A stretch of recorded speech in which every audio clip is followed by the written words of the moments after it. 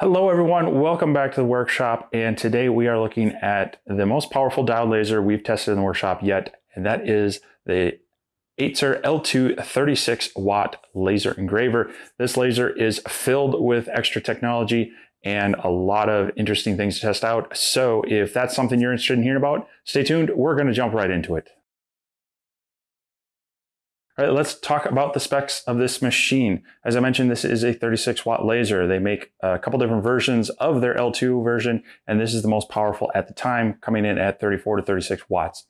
With that, it does have a stated 0.08 by 0.1 millimeter uh, focus area, so not necessarily as square as some of the smaller ones, but still uh, allegedly keeping it fairly tight. We're going to take a look at what that means for its cutting ability in a little bit. The working area of this machine is 410 by 410 millimeters.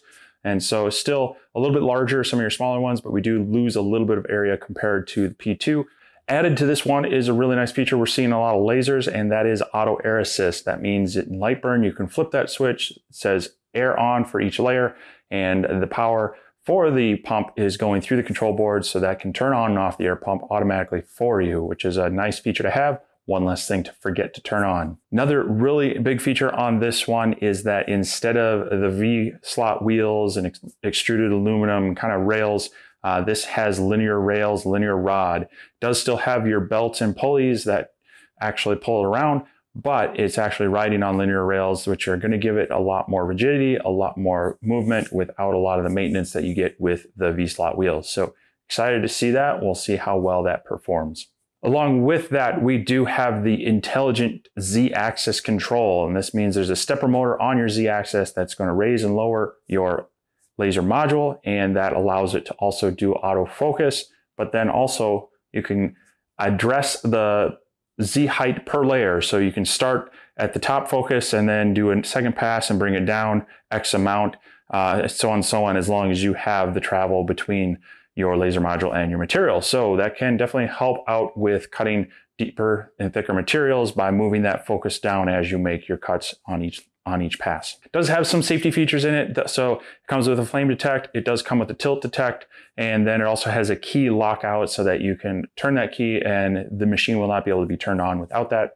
And then another interesting feature that it tout, uh, that they say is has an Auto resume after power failure. We're gonna go ahead and take a look at that in a bit as well. Now it does have an offline controller that you can use without being hooked up to the computer. There's a USB slot. You can plug in a USB drive, a little USB uh, key, and then pull your G-code files off of there. Now, this machine did come packed very well in a box and all the parts are with it, all the tools to assemble it. I'm not gonna go through the whole build as they do have a really good manual that will step you through this um, with some good diagrams and such. All the bags are labeled by step as far as which hardware you need to use. And there is a quick start guide on Atezr's YouTube page if you do need some extra help on getting through this. That being said, if you do get this machine and you have a few questions about assembling it, go ahead and leave me a comment down below. Reach out to me. I will do my best to help you with it as well. Now, before we go and throw this back on there, I just wanted to point out a few things about this laser module. So off to the side, you do have this extra piece that hangs out here. This says two things. It has your uh, red crosshair for alignment through that method, as well as on the bottom here, you have just this little touch off probe here, and that is what it uses to set its autofocus. It comes down and touches on that. But I also like the fact they have this orange shroud on here and it is all the way around. Some of the manufacturers have been going to just a small window up front and that's really limiting if you're trying to check on your framing using the laser spot instead of the red dot. Uh, it just kind of blocks a lot of the view. Uh, as well as this one is easily removable. There's two screws, the shroud comes off, two more screws, and your cone comes off for your air assist. And so it's easy to maintain, easy to get at if you're using a uh, rotary. It's really nice kind of getting this shroud out of the way. Now, as far as air assist, I mentioned it does have this nice cone down here. And so that's built in. And then the air hose comes in through the top. And so that is all integrated into this unit. Uh, works pretty nice.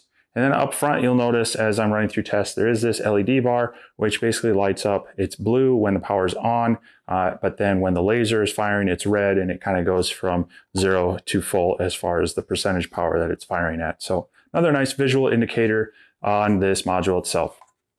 So let's take a closer look at the frame, the laser, all the parts that come with it. So as I mentioned, this is a 410 by 410 working area. However, uh, one of the dimensions that don't always get relayed is the outer dimensions. So if you're looking at building an enclosure, making sure it's going to fit in your space.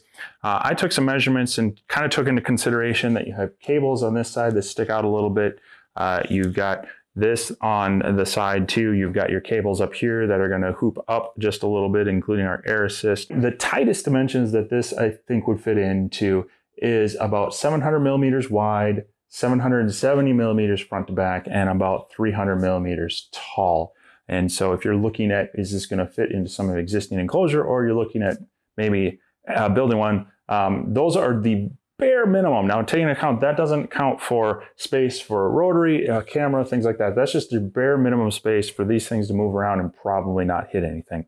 I was really excited to, like I mentioned earlier, does have linear rail, uh, linear rods along there and on here, and linear rails inside this. Um, they actually do provide this cover that the bracket kind of goes in between, and that does help provide some protection from getting dust and debris inside there on the rail. Um, but you are going to want to take a look on your side ones be keeping an uh, eye on that for any buildup of gunk and debris. And um, you're to need to get in there and kind of wipe them down a little bit. This cover does come off with just a few screws, so you can get in there and service it. Now, one thing I will note that when I was assembling mine, uh, I did notice there was a little bit of play in my module. Um, you do just want to watch these rails that the uh, the laser module mounts on. There are screws on the bottom and you can tighten those up. When I tightened those up, the one was just a little loose. Um, this snugged up right away. If that's really loose, you're going to have issues when you get into those higher speeds with a lot of backlash and wobble. I also appreciate that they've run the cabling through this rail out to the side. Same with the air hose. It just kind of helps limit the type, the number of things that are moving around in there. And so really your only area where there's any cable movement is just a little bit on top, back and forth, and this over on the side with the air hose. Speaking of the air hose, this is a fairly flexible but still durable and rigid material. It's not going to kink very easily, but it will move around. And so I do appreciate that. And they do give you plenty of length for your air pump so you can get this out of the way a fair distance and still have um, plenty of movement around. Now they do provide a very nice air pump. Um, this is not tiny by any means, but not over overpowering.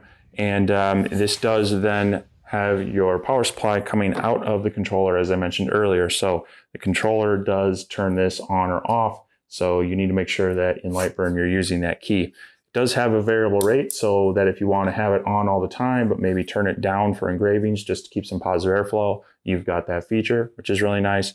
Uh, otherwise, you can turn it on, put it on blast, and just make sure that Lightburn is set up to um, turn your air on and off. Looking up front here, we do have our typical buttons for power. We have an alarm light. Uh, I like that they have a USB drive. This is actually like your typical thumb drive instead of the micro SD card. Um, that's for transferring files on there. And then of course this key lockout system. You can, you can turn the key, take the key with you, and this will not turn on. Uh, however, you turn the key, you have to leave it in there with the laser. So if it's not a feature that you're going to worry about, you want to leave it on the, the whole time, you do have to have this key up here. I do really appreciate that they have all the cables off the side here instead of sticking up. It just gets them out of the way, it gives the machine a cleaner look, allows you to kind of plan for these on the side and not on top. I really appreciate that they've moved those out of the way. And another, it's sometimes just the little details, is that this panel, it does sit on the front of here and it's magnetic, but it also has kind of this little notch in here and that does key onto that front one, meaning that really grabs onto there really well. Uh, some of the other machines I've had, it's magnetic, but it can slide around and it's easily knocked off. The one thing that I feel is missing on here is I'd like a physical e-stop button. Uh, when things go wrong, you want to be able to shut things down quickly. And even though this has a flame sensor, has a tilt sensor, things like that, sometimes you as the operator need to shut things down because the machine isn't detecting what's going on. You just need to kill power. So it'd be great to see that with this. You would probably have to hit that on off button or, you know, put your power supply maybe on a switched outlet or, of sorts so that you can kill it quickly that way. Um, but as the machine is this in this way, doesn't have a physical e-stop button. They do provide then, of course, your USB connection to the machine. Uh, going into the machine is USB-C. Uh, they do provide a nice little cable that is both USB A and USB C. And so that is very nice. Depending on what machine you have, you're not going to have to find an adapter to be able to plug this in. And then finally, there is just a single power supply. This powers into the controller and then the power or the air pump is then powered through that. And so just one plug, one cable uh, into the wall. And this is a 24 volt, 7.5 amp for 180 watts of power coming out of this brick to power everything on here. And finally, they of course do supply the typical that you see with these lasers, a pair of safety goggles. Now these are just kind of your standard green um, safety glass glasses. There is no rating on these. They are better than nothing. So if you don't have anything, definitely wear these as they will uh, cut down on that laser light transmission. However, um, I always recommend you protect your eyes the best you can and get a pair of glasses that are truly rated for the wavelength of your laser, as well as an optical density that is going to eliminate all laser light. So for these diode style lasers, they're operating in that 455 nanometer wavelength. And typically you're going to be looking for something that has an optical density of four or higher on that. So I use a set that I have bought and I will leave a link down below if you're interested in upgrading your glasses for better protection. That being said, these still do offer protection and I would recommend you use them if you've got nothing else. So those are a lot of the technical details about the laser, but let's see how it performs. Now, longtime viewers of the channel know that I love to test out three millimeter Baltic birch plywood as one of my primary mediums. Now, this is a little more dense than your typical craft uh, plywood that's in that eighth inch or three millimeter range. So just keep that in mind in comparing to other ones. But I do use Lightburn and use their material tests and set up a grid. And so I did run that and made sure that we had a pretty wide scale here. So as you can see, this is our results that it was coming out. And so I ran it from 350 millimeters a minute all the way up to 800. And in this one, it just kind of squeaked out that top one at 650 we did have just a little bit of a couple of nibs holding on that I had to push it through, um, but at 100% power, it did go through that. Now, as always, my recommendation is to back it off to where you're getting 80 to 90% power and still cutting through because material like this is inconsistent. There are glue areas that'll be thicker or denser. You'll have little imperfections in the wood and running it at your bare minimum top speed is going to mean you're going to run into more of those areas where it doesn't cut through. So for me, I would be running this, topping it out at 600 millimeters a minute on this material. Yeah. So now three millimeter Baltic birch plywood is not necessarily typical, something you're going to find easily at your standard hardware store or big box store. So I do also like to do some tests on materials that are more common to everyone. So a lot of people have uh, some of our favorites of Lowe's and Home Depot. So I have a couple of their quarter inch ish material. So this is quarter inch sanded plywood from Home Depot. And so I ran the same test, um, but this time I went from 300 to 600 millimeters a minute, just knowing that the thicker material really wasn't expecting it to go any higher than the eighth inch. And uh, it did pretty well at 600 millimeters a minute here with the top focus. It was cutting through fairly cleanly at 90 and 100% power. Then I also tried doing the two and a half millimeter offset to try to get to the middle of this because this is roughly five to five and a half millimeters thick. And as you can see, I got this weird, you know, it went up there, but there's this weird thing. Now, this is what I'm talking about. You get kind of imperfections in your material. And so what I'm seeing here is there is most likely a pocket of something right in there that is preventing this from cutting through cleanly. So anytime you're running these tests, you want to run it multiple times through the material just to ensure that your readings are getting consistent and accurate, and then you can average them out. Uh, same thing for Lowe's. They have their five and a half millimeter Revolution ply. I bought a sheet of that, so I've been testing that on a number of things, and very similar results. But this is a little bit thicker material. I think it has some more glues in it and such. And so we topped out at 550 millimeters a minute, cutting this with air assist and such on, but it was clean cuts and uh, they dropped right out. So after testing some of the thinner material in just single pass cuts, I wanted to really see how thick of a material we could realistically cut with this. Now, a lot of times laser manufacturers or other reviewers are going to say, oh, look, I cut through this material in a single pass, but they are crawling through it and they are scorching the material to where it's just ugly.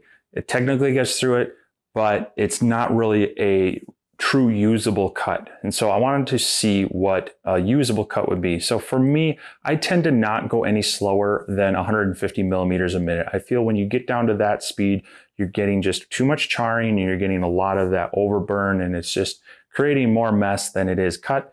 So that's where I start my ratings at. So I had some three quarter inch Aspen and started out testing this out. And so here was the first test.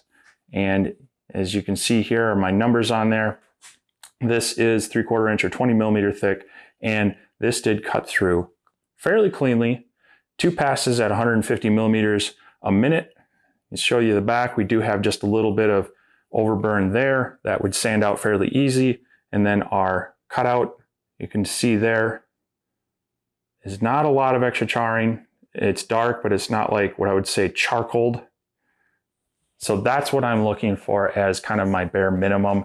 Obviously, we'd like it to be as clean as possible, but as long as it's not looking like you burnt your marshmallow at the campfire, that's where I feel it's a fairly successful cut. Now, at the 150 millimeters a minute, I kind of felt like it had almost got through in the first pass. And so I thought, let's step up the speed a little bit because if we can do that, we can get through this cut a little bit faster. So I ran it again on another piece from the same material. And here you go. If I can get that to focus in, this was ran at 200 millimeters a minute, two passes, 100% power. Once again, it came right out. Our back has just a little bit of charring, less than the other one. That would easily sand out. And then our piece is fairly clean as well. As you can see there, hopefully, there is really not a lot of extra charring. There's some caramelization, a little bit of darkness there, but other than that, fairly clean. And I believe this just had just one, see if I can get it to focus on there, just that little bit, little bit. It was just, I just had to just press it through and it came right out. So it's fairly impressed that this was, I wasn't adjusting the Z at all. I just set the focus um, down maybe a couple millimeters from the surface, did our two passes, ran full air, and that was the results. And so that's fairly impressive for this machine. Knowing that now we can cut circles, but what good is that? Can we do something actually fairly functional? So a decorative piece. So I was able to take a full piece of this three quarter inch aspen and I was able to cut out the channel name. It came out cleanly. And so this again is that three quarter inch or 20 millimeter material. I have it on that kind of rail that I welded the text to on the bottom. I'll have a quick tip video on how to set up something like this and do that welding as well for you to follow. So I'll have that link down below. But really quickly here, there's the results. And so this was done, I actually just backed it off to about 185 millimeters a minute, two passes, 100% power. And this did take, what I wrote down here, just a bit over 15 minutes to finish. But, you know, this was fairly clean. Uh, show you, this is the back side. So you can see there's just a few spots where there's maybe a little bit of overburn on there. Same thing on here. The uh, the back side and the front side, they're fairly clean, but just a few um, spots on there where it would take just a little bit of sanding to clean it right up. And then you could stain it, paint it, leave it just natural, and you have a nice decorative piece. So of course, the feature of being able to use that step down Z axis is really nice. So I took a little more dense wood here in this, and this is about a half inch material, and I set it up for about 400 millimeters a minute, 100% power, but then do four passes, and I had it drop down uh, about a millimeter per pass just to bring that um, focus point through. And as you can see, it cut through very cleanly. Here's the top side, here's the bottom side, just a little hint of that overburn. Uh, that's where getting that speed up faster reduces the amount of charring and uh, and uh, vapor that's going to get stuck on there. And then as you can see, our cutout piece is very clean. It's just caramelized. There's really not a lot of charring. So that is where finding the balance of number of passes and a faster speed, and then tie that in with the ability to step this down per layer within Lightburn uh, makes this a very um, flexible machine to really dial in some clean cut but fast settings for being able to cut through thicker material. So the machine can cut really well, but does it lose anything in its ability to engrave? Well, you mentioned it has a 0.08 by 0.1 millimeter spot size. Now that's a little bit bigger and rectangular than some of your 5 and 10 watt lasers, but it's still a very fine point and should be able to do some quality engraving. Now, they also mentioned that it can go up to 50,000 millimeters a minute in its x-axis. Now, I double check the settings of the laser and it is in the X set to 50,000 millimeters a minute as far as the top speed. The Y is limited to 20,000 millimeters a minute. So if you're gonna do anything vertically, or if you're gonna use an offset angle, like we do in some of the things to try to reduce banding, you're gonna be limited in your speed a bit from that. But those are still respectable numbers as far as your engraving speed. So I did, of course, run a raster test on some of our Baltic birch plywood. And I started at 10,000 millimeters a minute and I topped it out at 40,000 millimeters a minute because I honestly wasn't sure at those speeds how well it was going to perform. But I was pleasantly surprised that it was still marking and you could get a somewhat decent marking at the 40,000. And uh, perhaps if that was the, the darkest you wanted, um, you could leave it there. But I really felt that to get a full range, because as you see, there's almost nothing in the tens for any of these, but there is just a hint of it around 15 to 20. So, so with that, I thought, well, let's let's test a couple different ones. And so I ran a quick file. Here's uh, my workshop logo along with the Atezr logo. So the top one, this is 15,000 millimeters a minute, 100% power. Uh, and then I do go back and add an outline. You can do that through the multi-mode, adding a second layer into, or a, a sub-layer into your layer. Uh, and so it'll follow through and do the engrave and then do an outline of everything, which just kind of helps it pop out a little bit. And so then the bottom one there again is the Atezr logo at 40,000 millimeters a minute, 100% power. And so hopefully you can kind of see the variation of darkness and uh, just a little bit of fading out on that one, uh, running at that 40,000 millimeters a minute. This job took about seven minutes, 20 seconds to complete. And so just to kind of give you an idea of its performance there. Well, I wanted to try it on a real world item. And so I did already drop this video, but as you can see, this is a 3D realistic engraving of a bald eagle with an American flag behind it.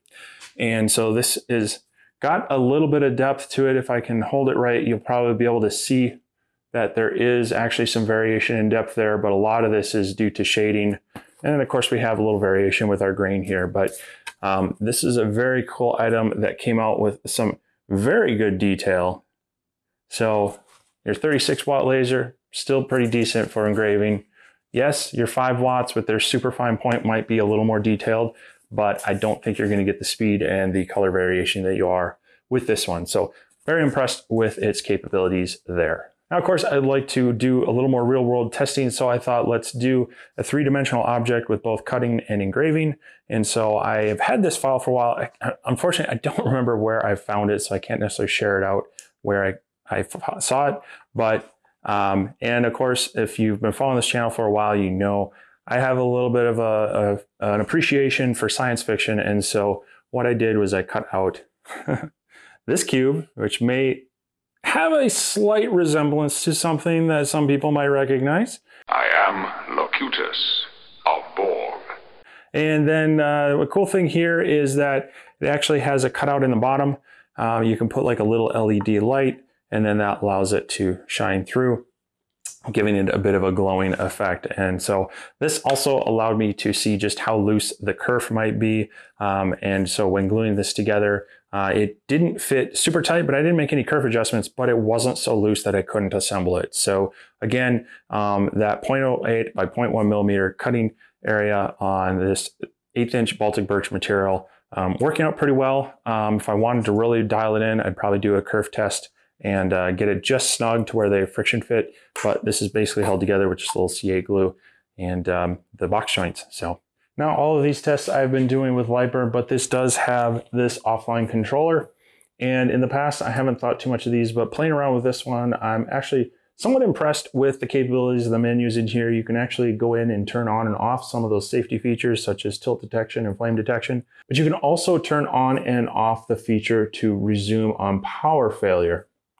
Now, in my testing of this, and I will show it to you really quick, um, it works well from this offline controller, but I don't believe it's something that's going to work if you're running it from Lightburn. Now, I'm not 100% sure on that. It's just from my testing, uh, it needed to have it in the in the local controller. It needed to be running it through there. Lightburn does a thing where it kind of streams the G code to the machine while it's running. It doesn't transfer it all over and then start the job. So if that gets interrupted, Lightburn doesn't know necessarily. It recognizes that the laser's gone and it stops, but it, it's uh, there's no record of where it left off. So um, that feature is most likely just going to be for when using this offline controller. Um, that being said, if someone knows better and wants to correct me, go ahead and leave a comment down below. I'd love to know how that feature might work in other operations as well. So let's take a look at the menu options and some of the functionality. Okay, we're gonna go ahead and turn on the machine. We do not have a computer connected to it, as you can see here. And so the machine is gonna power up and it is going to zero. And then your screen is gonna say zeroing successful. Now you have your front screen here, which gives you two options, either your engrave or your setting. If we go over into setting, this is where you can see um, basically some of the things you can fine tune. We've got our tilt detection that's on. You can turn that off. We also have our flame detection. Again, we can turn that on or off. Um, you have your fast, standard, and fine mode. Um, so that just um, changes the engraving mode selection and uh, will adjust some internal kind of speed and acceleration things to fine tune things. Now we can also, in here, we can turn on or off our autofocus. We can enable or disable the resume engraving. So that is our op when it uh, loses power. And then touch sound. And then the auxiliary positioning is if you want to turn on or off your red crosshair. Now I like using the laser light to do my framing and such, so I have that turned off. And then there's just a mount which will tell you the firmware and the machine size that this is set up.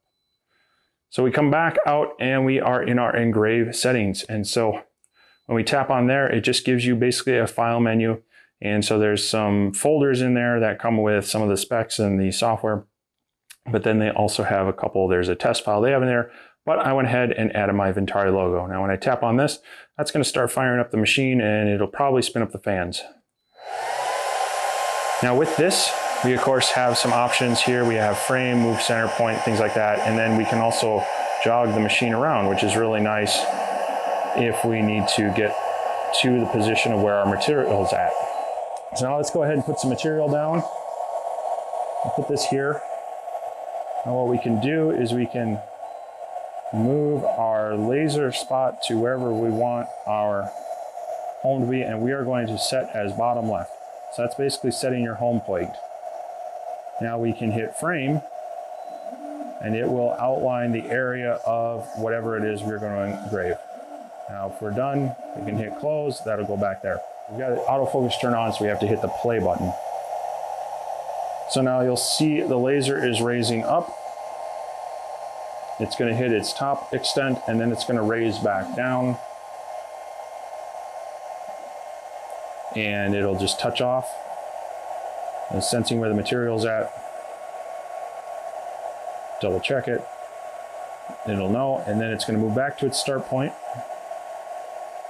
We're still saying autofocusing. There we go. And then it will start, go ahead and start the engrave. Now, while it's engraving, you do have a few things. You can pause the job, you can stop the job, but you can also change your power and speed on the fly. Uh, you can't go over 100% power, but if you're noticing it's too thick and you want to try scaling back, you either go in 1% or 10% increments. Same thing with speed. If you feel it's going too slow or too fast, you can actually bump it up. Now, there is no display on here as to what that speed actually is. You'll just have to figure that out from your file. But now let's go ahead and test the off or the power loss mode. So I'm going to go ahead and remove power. So the machine shut down, screen went black. So if we power this back in, plug this back in, and it's going to turn on, our light's coming on. This is going to say zeroing again.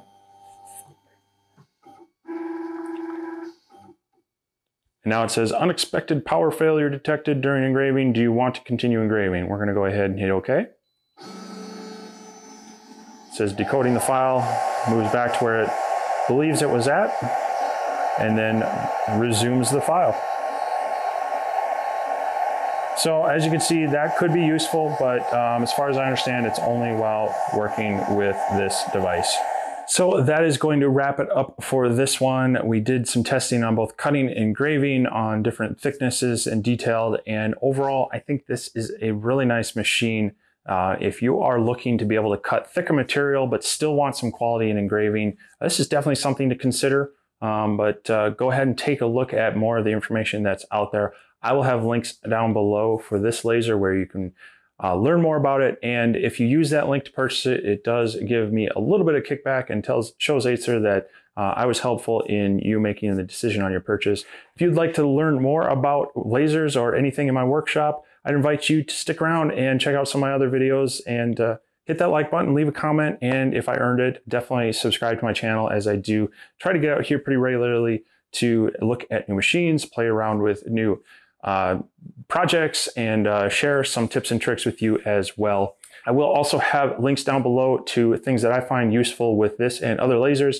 So uh, those are affiliate links. Again, they do give me a little bit of a kickback, which do help me continue to do more things out here, buy supplies and uh, different items to have some fun and share some things with you. So um, again, if you use them, I appreciate it. But as always, no pressure. So once again, thanks for stopping by. Thanks for watching this video. And I do hope that you can get out into your workshop and make something too. We'll see you next time.